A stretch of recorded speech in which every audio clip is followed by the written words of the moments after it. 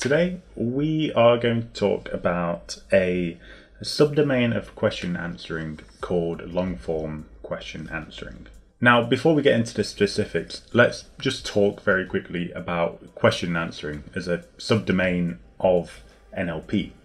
Question answering has, I think, exploded as a subdomain of NLP in the past few years, mainly because I think question answering is an incredibly widely applicable use case for NLP, but it wasn't possible to do question answering or not anything good with question answering until we had transformer models like BERT. So uh, that means that as soon as we got something like BERT, question answering became viable, and with the huge number of use cases for question answering, it obviously kind of took off. Now, question answering is quite complicated, but at its core, it's basically just the retrieval of information in a more human like way. And when we consider this, I think it makes it really clear how broadly applicable question answering is because almost every organization in the world, if not all, are going to need to retrieve information. Right? And for a lot of companies, and particularly larger organizations, I think the act of information retrieval is actually a big component of their day to day operations. Now, at the moment, most organizations do inf- information retrieval across a suite of tools. So they will have people um, using some sort of internal search tools, which are typically keyword based, which is generally not always that helpful. Sometimes it's, it's useful, but a lot of the time um, it's, it's not great. And then another key form of information retrieval in most organizations is literally person to person. So you go and ask someone who you think will probably know where some information is, like a document or so on. And obviously, you know, this sort of patchwork of information retrieval, to an extent, sure, it works, but it's inefficient. Now, if we consider that many organizations contain thousands of employees, each of those employees producing pages upon pages of unstructured data, e.g., pages of documents and text that are meant for human consumption. In most cases, all of that information is just being lost in some sort of void. Okay? And rather than that information being lost in a void that we're never going to see again and it becomes useless to the organization or the company, we can instead place it in a database that a uh, question and answering agent has access to. And when we ask a question to that Q&A agent, which we ask in a human-like way, it will go and retrieve the relevant information for us instantly. Or not instantly, but pretty close. The majority of data in the world is unstructured.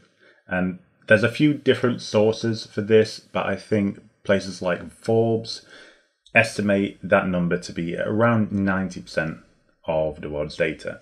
So in your organization, you probably have a number similar to this. So 90% of your data is unstructured. That means it's meant for human consumption, not machines, and it means it's liable to get lost in that void uh, where we're just never going to see that information ever again. Now, that's massively inefficient.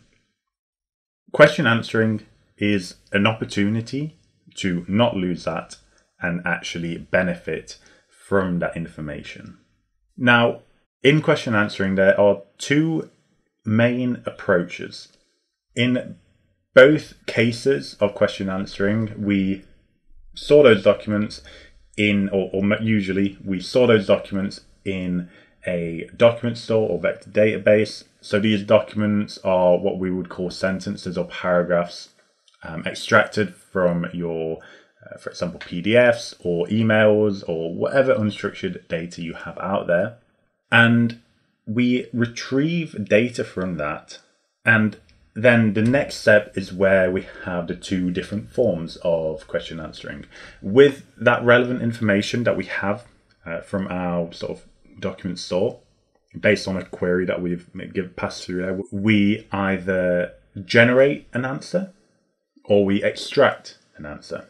So obviously, when we're generating an answer, we look at the whole, uh, all of the context that we've retrieved, and we uh, use an NLP model to generate some sort of human answer to um, our query based on that information. Otherwise, we use an extractive model, which is literally going to take a snippet of information from the data that we have retrieved. So there's a few components that I just described there. There's that document store at the start. When we're using a document store, which we will in most cases, I'd imagine, we call that open book question answering. Now, the reason it's called open book is it is like students in an exam. Okay, we have a typical exam, you don't have any outside materials to refer to. It's just you have to rely on what is in your brain. That's very similar to uh, using, for example, a generator model that given a question, it doesn't refer to any document store. It just refers to what is within its own memory or its own model memory. And that model memory has been built during model training. So that would be referred to as closed book, um, generative or abstractive Q&A. On the other hand, we have a document store. So that document store is like we are in our exam as students, and we have a open book that we can refer to for information. So we're not just relying on what is in our head, but we're looking at the information in this book, and we still need to rely on the knowledge in our head in order to apply what is in that book to the questions we're given in the exam. It's exactly the same for open book abstractive question answering, in that you have the generator model, but we're not just relying on a generator model to answer our questions, we are also relying on a document store, which is our book, and what is called a retrieval model. And this retrieval model is going to take our question, it will encode it into a vector embedding, takes it to that document store, which is actually just a vector database in in our scenario of what we're doing. And in a vector database, what you have is lots of other uh, vector embeddings, which are essentially numerical representations of the documents that you stored in it before. So remember, documents are those chunks of paragraph or sentences uh, from different sources. That vector database has loads of these um, these what we call context vectors, and we pass our query vector into that document store or vector database, and we retrieve the most similar context vectors from there and pass them back to our sort of retrieval pipeline. Then that is passed to our generator model. Our generator model is going to see the query followed by the set of retrieved relevant, hopefully, context. And it uses all of that to generate an answer.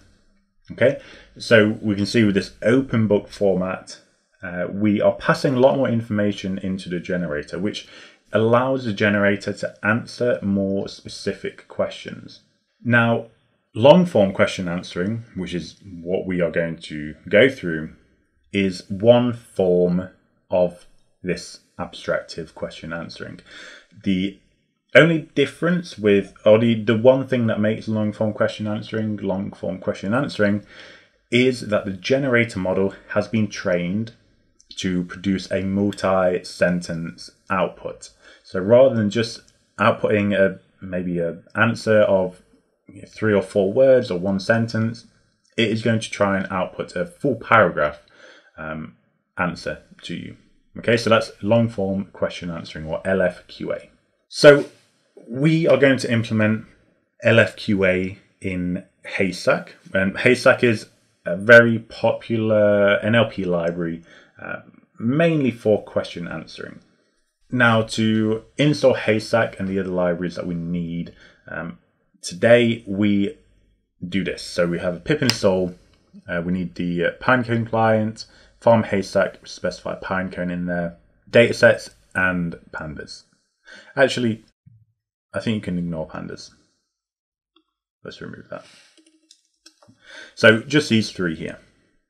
Uh, with Farm Haystack, we are going to be using something called a Pinecone document store. So for that, you need either version 1.3 or above.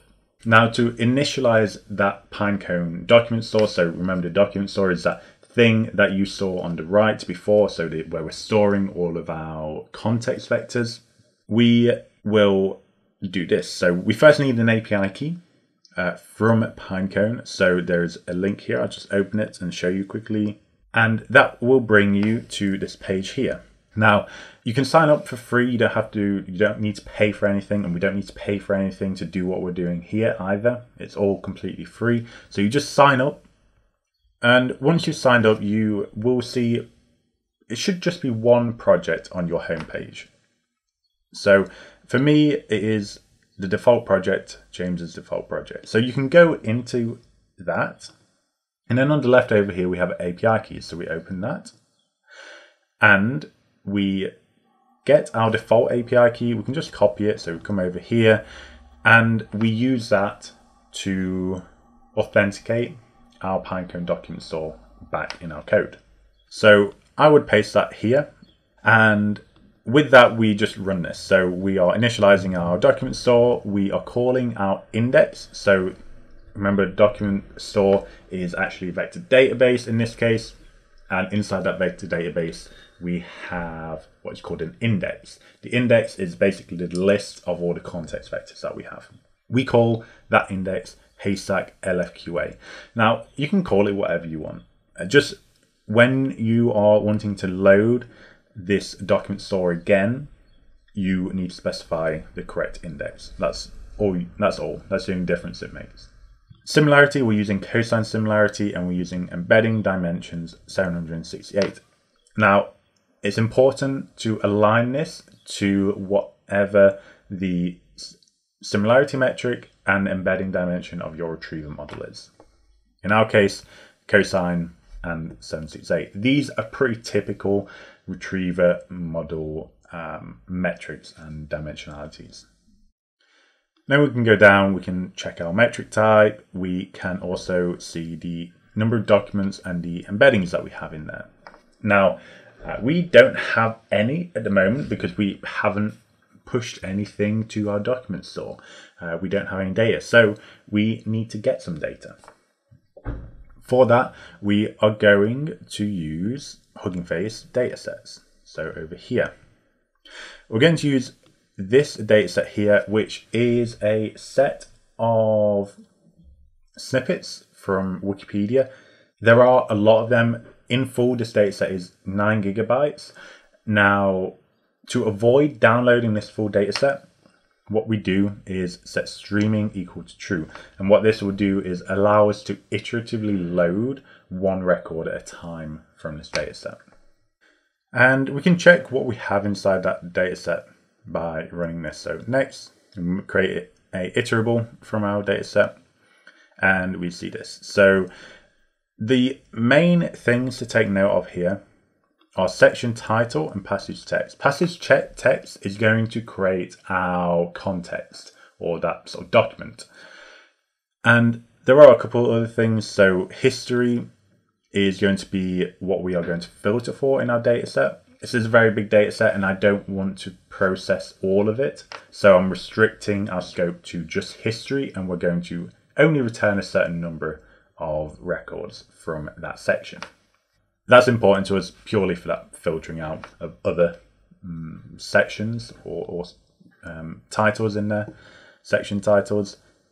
And we'll, we will include article title as metadata in our documents, although it's not really important because we're not actually going to use it. It's just so you can see how you would include metadata in there in case you did want to use it. So here, what we're doing is filtering only for documents that have the section title history. Okay, and we just get this iterable object uh, because we're streaming, so it just knows now when we're streaming one by one, uh, when it's pulling an object, it's going to check if that object section title starts with history. If it does, it will it will pull it. If not, it will move on to the next one. Okay, so we're just going to pull those with history. Now what we need to do is process those and add them to our document store. Now what I've done here is said, okay, we are only going to pull 50,000 of those and no more. At that point we, we cut off. And it's actually, it cuts off just before 50,000. And what we're going to do is we're going to add in a single batch. So we're going to loop through all of, or we're going to pull all of these records. We're going to collect 10,000 of them, and then we're going to add them to our document store. And this is a haystack document object. So we have a content. The content is the document text, that big paragraph you saw before. Meta is any metadata that we'd like to add in there. Now, with the Pinecone document store, we can use metadata filtering although I won't show you how to do that here, uh, but that can be really useful if it's something you're interested in. So that's how you'd add metadata to your document as well. And all I'm doing is create adding that doc to a docs list. And we increase the counter. And once the counter hits the batch size, which is the 10,000, we write those documents to our document store. Now, you will remember I said the document store is a vector database, and inside the vector database, we have vectors. At the moment, when we write those documents, we're not actually creating those vectors because we haven't specified the retriever model yet.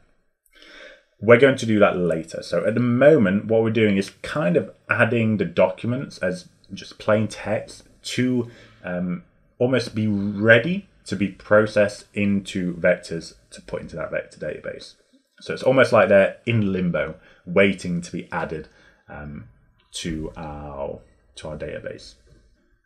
So we add all of those. That can take a it can take a little bit of time, not not too long though. Uh, and then once we hit or get close to fifty thousand, we break. So we stop the loop, and then we can see if we get the document count, we see that we have the almost 50,000 documents in there. But then when we look at the embedding count, zero. And that's because we, you know, they're waiting to be added into the vector database, those, um, the text documents. So they exist as documents, they just don't exist as embeddings yet. Okay, so uh, what we now need to do is convert those documents into vector embeddings. Now, to do that, we need a retriever model. Now, uh, at this point, it's probably best to check if you have a GPU that uh, is available, like a CUDA enabled GPU. If you don't, this step will take longer, unfortunately. Uh, but if you do, that's great because this will be pretty quick in most cases, depending on your GPU, of course. So we initialize our retriever model so we're using the embedding retriever, and this allows us to use what are called sentence transformer models from the sentence transformers library. Now, I'm using this model here, and we can find all the sentence transformer models over on the Hugging Face model hub. So let's have a quick look at that. So we are here, huggingface.co slash models, and I can paste that model name. Maybe I just do flax sentence embeddings now, flax sentence embeddings are a set of models that were trained on a lot of data using the Flax library. But there are a lot of other sentence transform models. See the one we're using here. So, for example, if we go sentence transformers, you will see all of the default models used by the sentence transformers library. So we are using this MPNet model. Uh, we also specify that we're using sentence transformers uh, model format. And when we initialize our retriever, we also need to add the document store that we'll be retrieving documents from.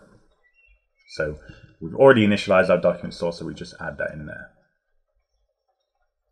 And at this point, it's time for us to update those embeddings. So when we say update embeddings, what this is going to do is look at any all of the documents that are sort of ready and with your document store, and it's going to use the retriever model that you pass here and embed them into vector representations of those contents. And then it's going to store those in your Pinecone vector database. That will be processed, and at this point, we could run this get embedding count again, and we would get this 49995 value.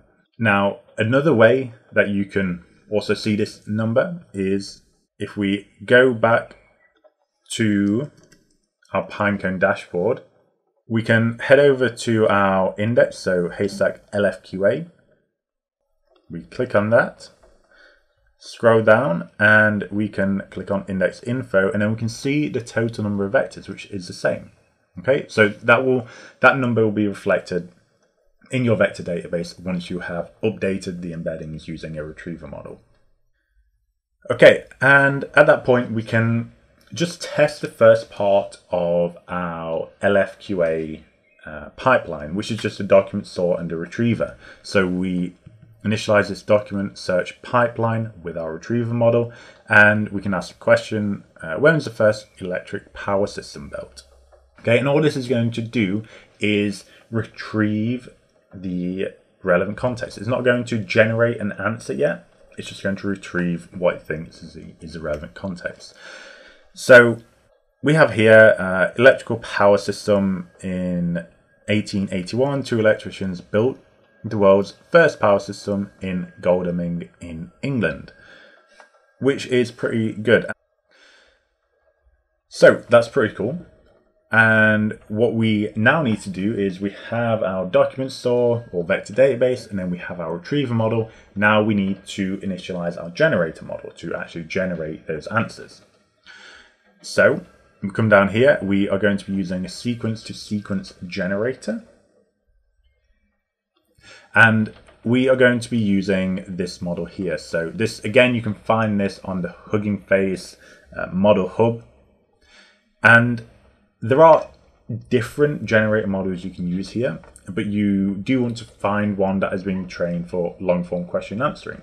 So, for example, we have the BART LFQA uh, that you can find here, or you have the BART explain like I'm 5 model uh, that we can find here. Now, I think the BART LFQA model seems to perform better, so we have gone with that. Also, it's been trained with a newer uh, data set and yeah, we just initialize it like that. Now, when we say sequence to sequence, that's because it is taking in a sequence of characters or some, some input. It's going to output a sequence of characters, e.g. the output, the, the answer. And if you are curious, that the input will look something like what you see here. Okay, so we have the question, and then we have the user's query. It's followed by context, and then we have this sort of P token here, and that P token um, indicates to the model the start of a new context that has been retrieved from our document store. So in this case, we've retrieved three contexts, and all of that is being passed to the generator model, uh, where it will then generate an answer based on all of that. Okay, so yeah, that we just initialized that the generator model, and then we initialize a generative Q&A pipeline. We pass in the generator and the retriever model. We don't need to include document store here because the document store has already been passed to the retriever model when we're initializing that. So it's almost like it's embedded within the retriever. So we don't need to worry about adding that in there. And then we can begin asking questions. Now this is where it starts to get, I think, more interesting.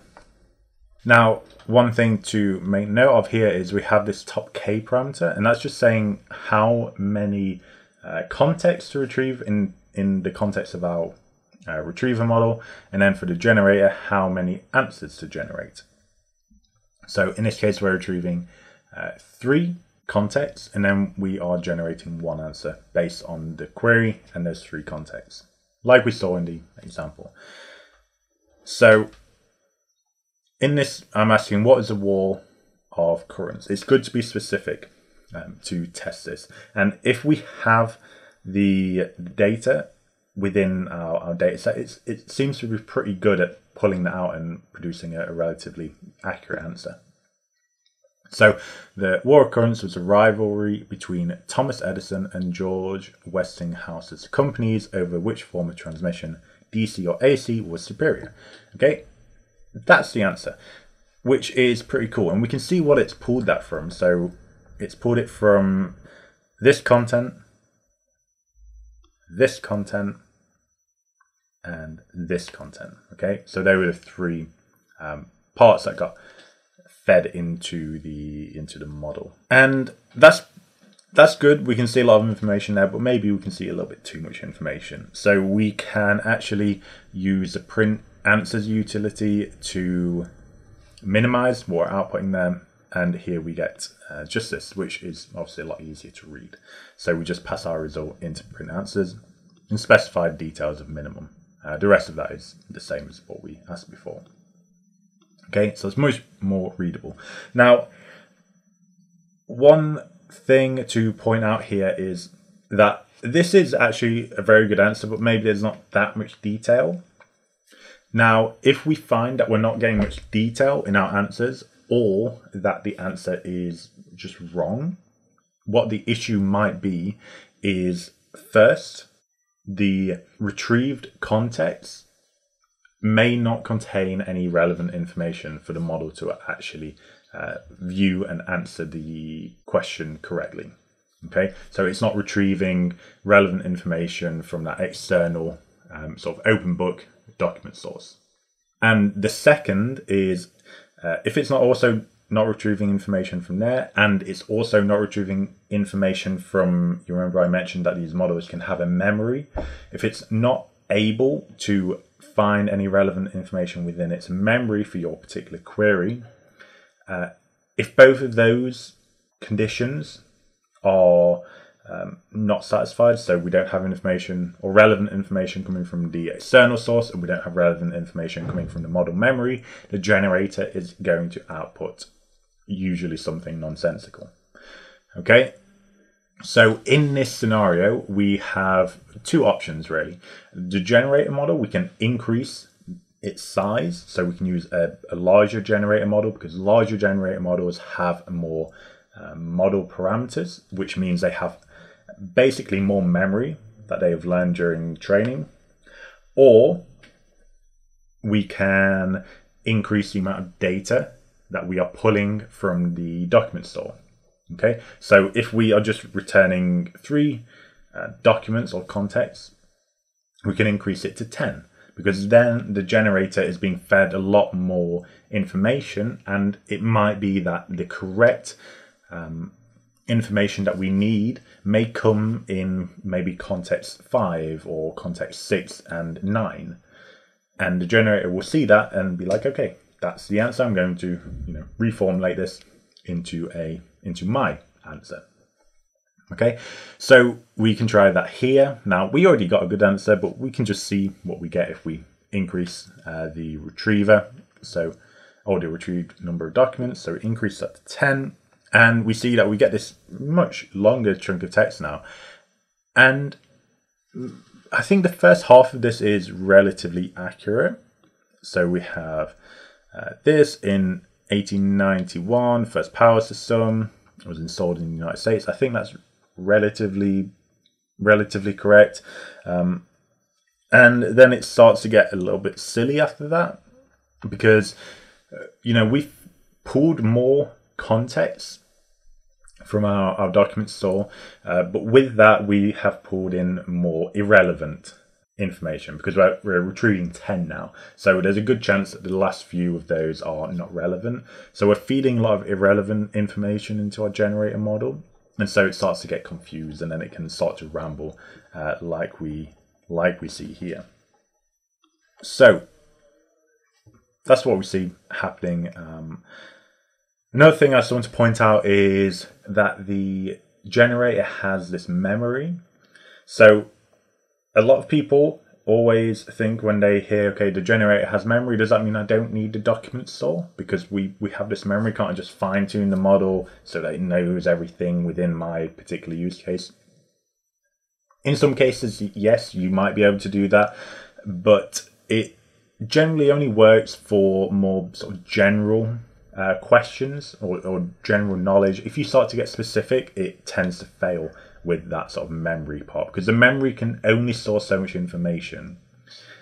And in the end, what you will probably need is you want a, a model with good memory so it can kind of maybe pull out some facts from there.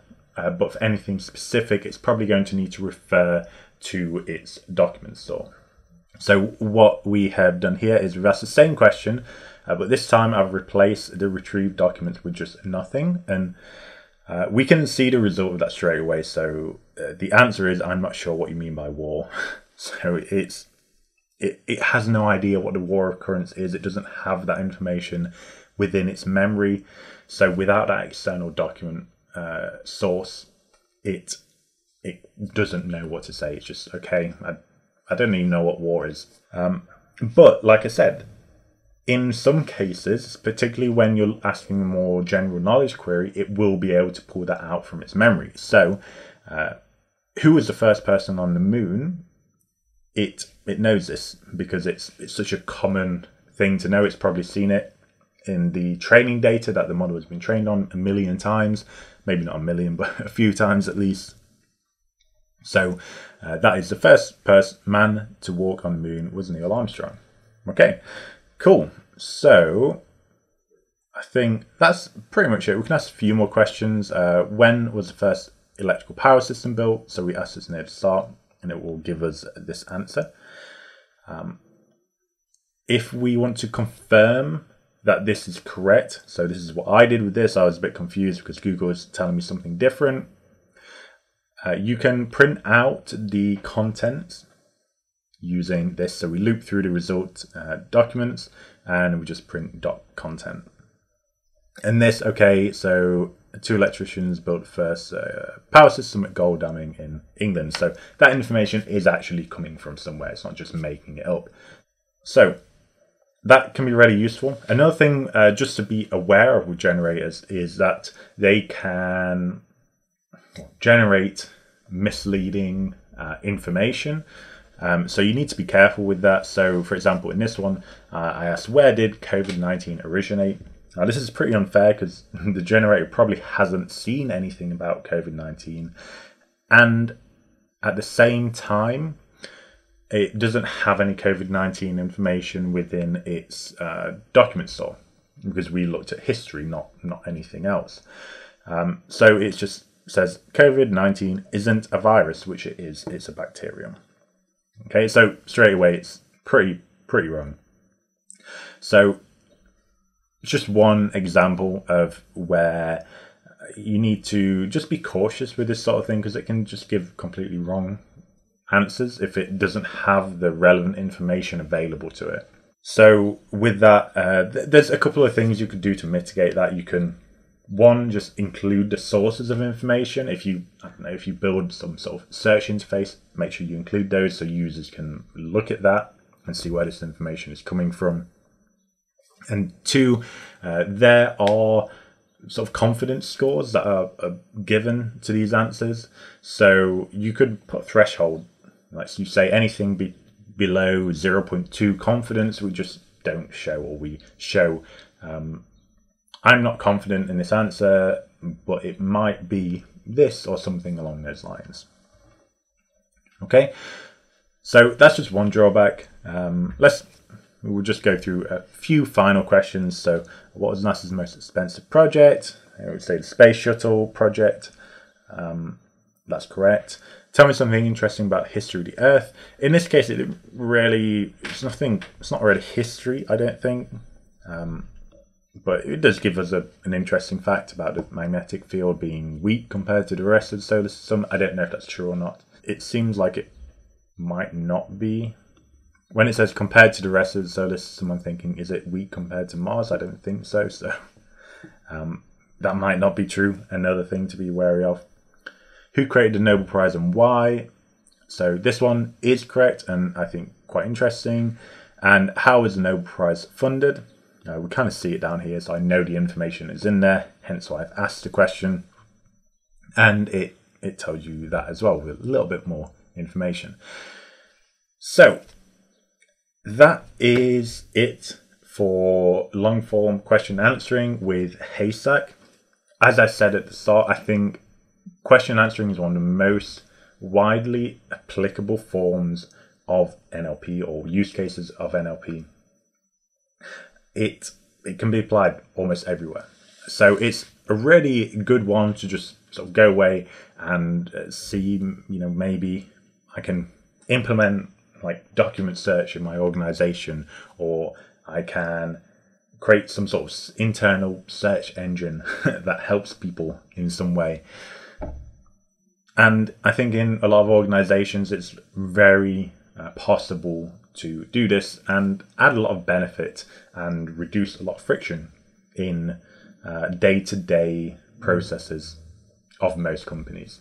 So that's it for this video. I hope it's been useful and I will see you in the next one.